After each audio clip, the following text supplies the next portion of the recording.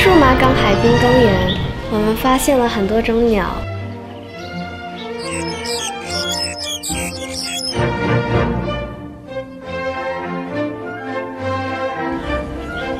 妈妈常说早起的鸟儿有虫吃，那么这些鸟儿到底几点起床？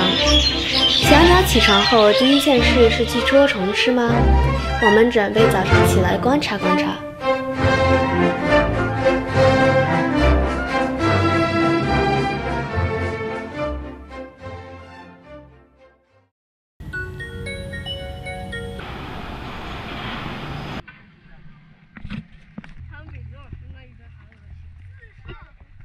我们到达的时候已经是早上五点半，我们听到整个公园到处都是鸟的叫声，看来鸟儿们早就起床了，我们来晚了。不过，我们不妨先观察早起的鸟儿是不是在捉虫吧。这些小鸟是黑领椋鸟，它们的黑领子还不太明显。因为它们是还没完全长大的幼鸟，也叫亚成鸟。它们有的跟着爸爸妈妈在草丛里找虫吃，有的已经独立找虫吃了。它们还真是勤奋呢。这两对黑领椋鸟好像在跳舞一样。原来他们在相互求偶。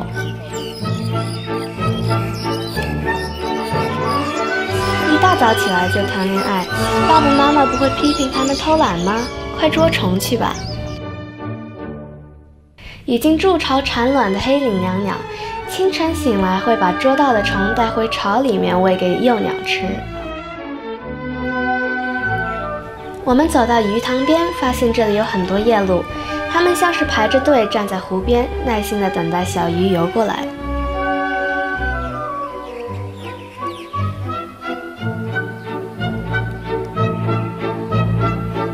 一只夜鹭逮到一条大鱼，直接囫囵吞下，好厉害原来早起的鸟儿不仅有虫吃，还有鱼吃。它们有的觅食给自己吃，有的觅食去喂幼鸟。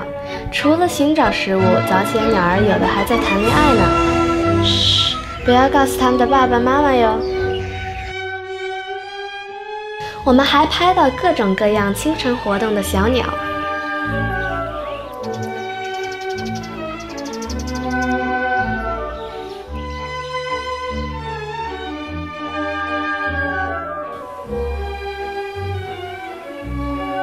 有听到清晨第一声鸟鸣。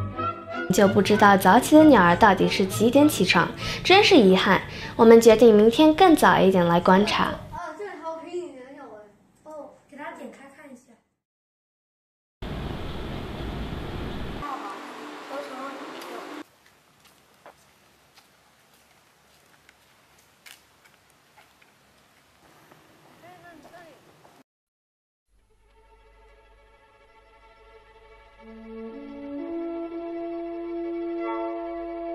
公园里一片寂静，我们在大树下摆好摄像机，等待第一声鸟鸣。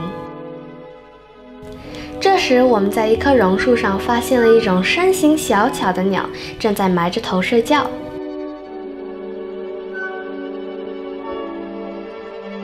哦，这个应该是安利谢鸟，咱们叫它相思鸟。探照灯的光打在它们身上，它们也没有要起床的意思，而是探头望望我们。安利秀眼鸟结伴在一起，有的像夫妻俩，有的像姐妹三，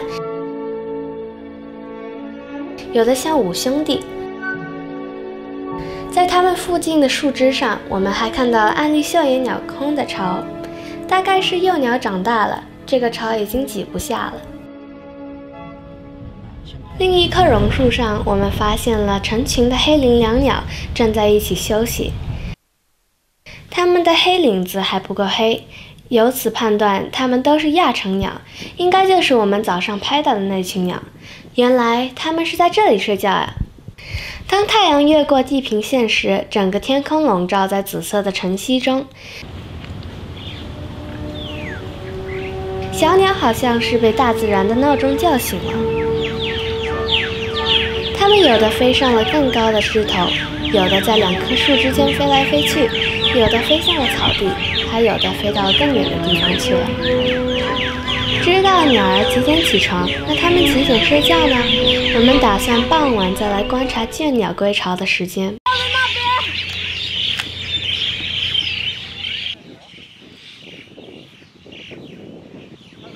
一直到六点四十左右，暗绿绣眼鸟才归来。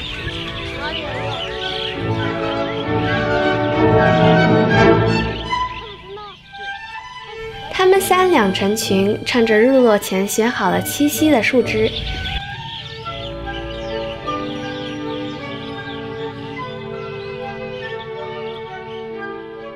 七点十五分，太阳落山了，小鸟们亲密地依偎在一起，进入了梦乡。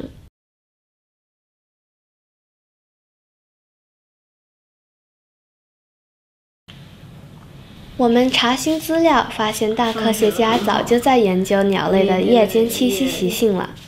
保护，对，保护它。论文上说，鸟类在夜晚的视力会变弱，感知危险的能力也会降低，因此夜栖地的选择与栖息方式会关系到它们的安全。那么，数码港的鸟儿夜间栖息有什么习性呢？我们准备夜间再去探究。我们测量了榕树下环境的温湿度，发现安绿绣眼鸟所在的榕树的环境温度为二十九度，湿度为百分之七十。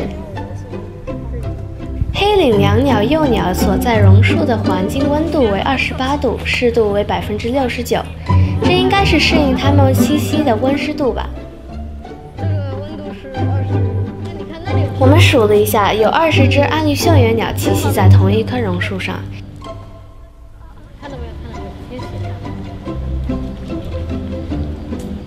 十五只黑领椋鸟的亚成鸟栖息在另外一棵榕树上，并且这棵榕树上没有黑领椋鸟的成鸟。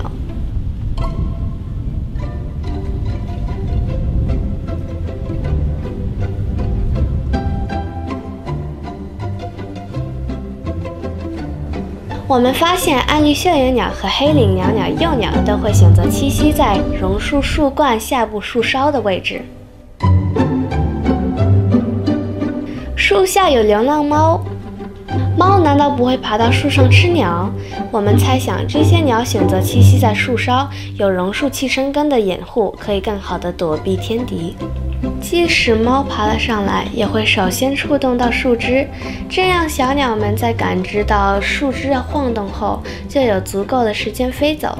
可见，树梢是相对安全的位置。又一天早上四点，我们再一次去观察，结果遭遇了大雨，个个都被淋成了落汤鸡。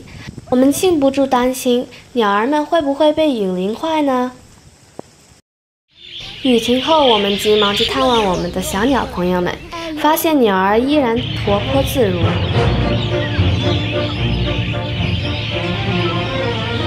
它们栖息在树冠下部，上面有交叉错落的榕树枝干和树叶，可以起到遮风挡雨的效果。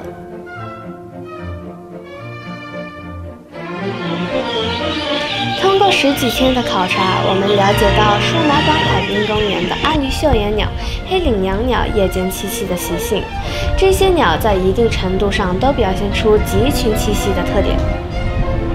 研究早起的鸟儿和它们的栖息习性，让我们和小鸟交上了朋友。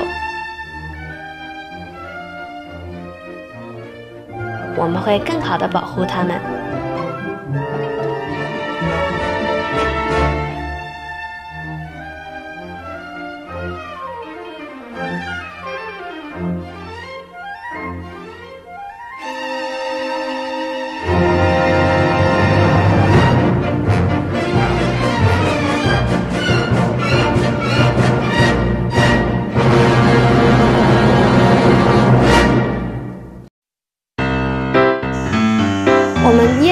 在鱼塘边发现了大量的夜鹭，这些夜鹭在有光照时就会迅速飞走。